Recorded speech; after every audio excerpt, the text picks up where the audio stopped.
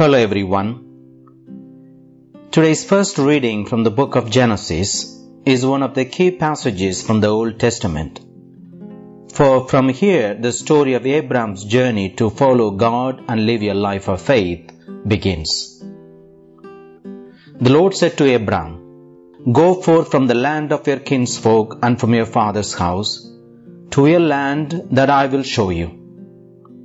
I will make you a great nation and I will bless you and make your name great so that you will be a blessing. I will bless those who bless you and curse those who curse you. All the communities of the earth shall find blessing in you. Abraham went forth as the Lord had directed him. Friends, the word bless, which is repeated five times in this short text, occurs hundreds of times in the Bible. The main Hebrew word for bless is barak, which means to kneel down an act of adoration or to give praise. Another Hebrew word for blessing is esher, which is also translated as happiness. Blessings are an integral part of the biblical narrative, and they are expressed in many different ways. Sometimes God is the source of blessing, and His creatures are the recipients. For instance, God created plants, living creatures, animals, man and woman, and He blessed them. At other times, the order is reversed. The creatures are the invokers of blessings, and the Creator God is the recipient. For example, the writer of the book of Daniel gives praise and glory to God together with the creation by saying, Sun and moon bless the Lord. All the heavens bless the Lord. Fire and heat bless the Lord. Frost and cold bless the Lord. Mountains and hills bless the Lord. Seas and rivers bless the Lord. All plants and animals bless the Lord. And the human race praise the Lord. Similarly, the book of Genesis records a servant of Abraham bowing and worshipping the Lord with his prayer. Blessed be Yahweh, God of my master Abraham. Friends, the word Barak is also used by man to bless man. For example, Isaac called down the blessing of God upon his son Jacob. In the same way, Aaron called a blessing upon the people. The psalmist tells us that those who walk in the light of God's presence, those who walk in the fear of the Lord, and those who seek justice are the blessed people.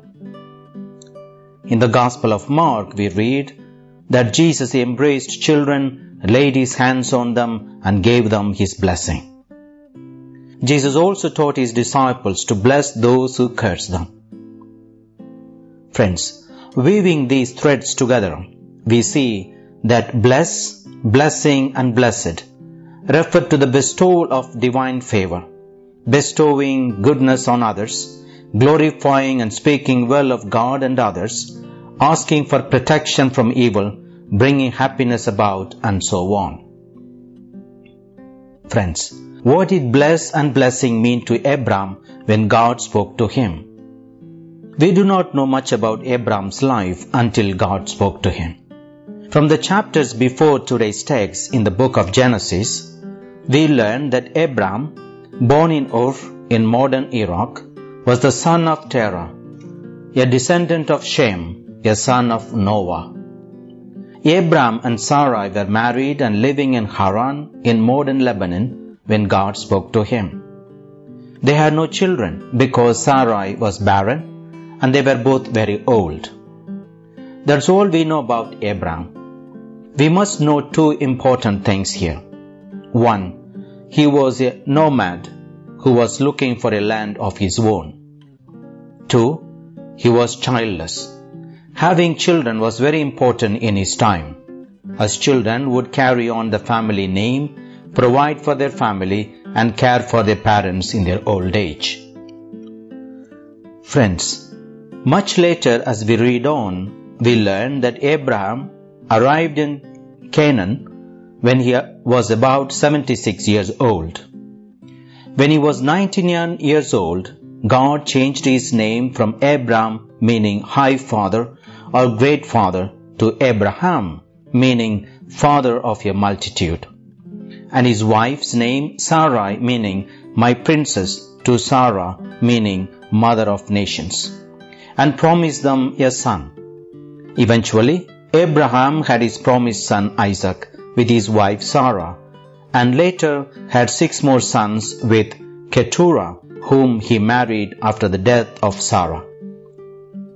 He was said to have lived to a good old age, and the Lord had blessed him in every way. At the time of his death, Abraham had indeed been materially blessed by God with livestock, silver, and gold. So we see that God's blessings from Abraham included God's gracious provisions for personal well being, a long life, abundance of food, children, wealth, security, peace, and God's presence.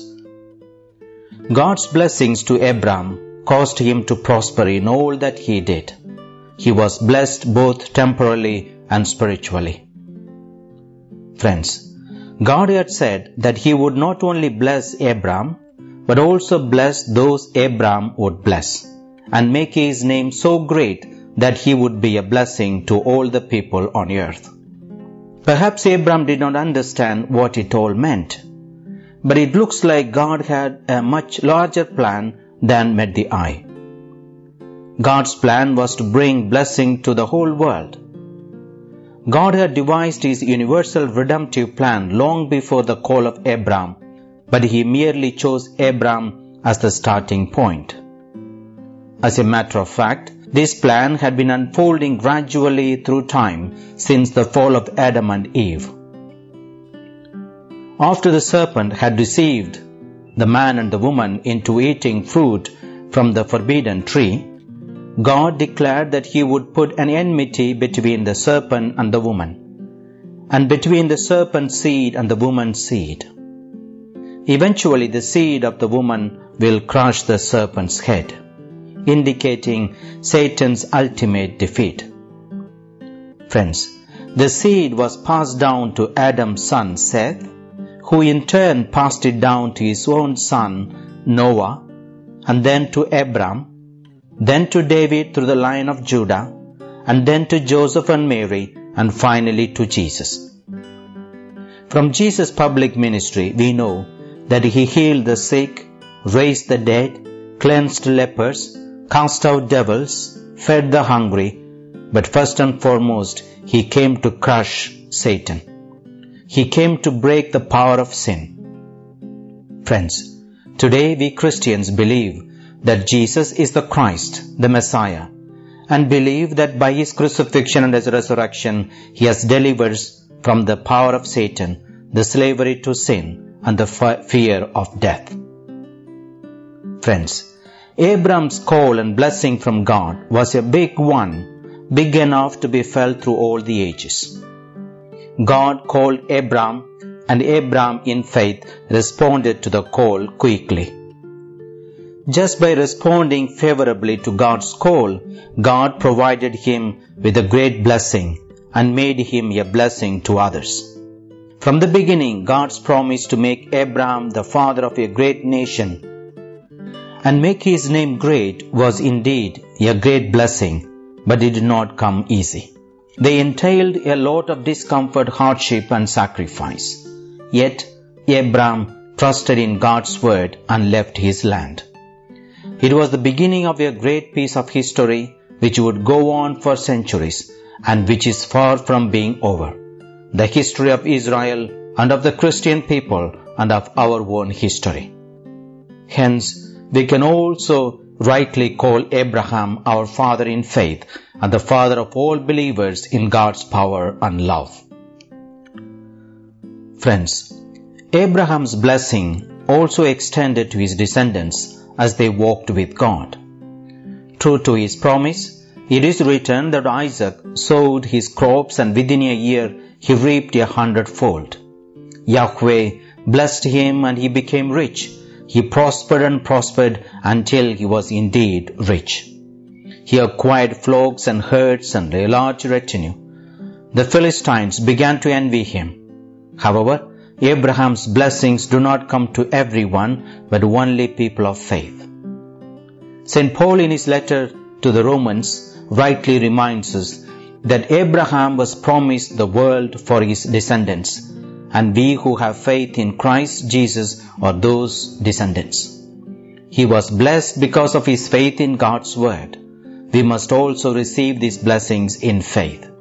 If you refuse to believe the blessings are for us, we will not receive them. Friends, God still blesses us and at the same time calls us to be a blessing to others. Let us, in all humility and gratitude, accept both God's temporal and spiritual blessings to us, and in turn, let us be a blessing to others wherever we are. Amen. God bless you.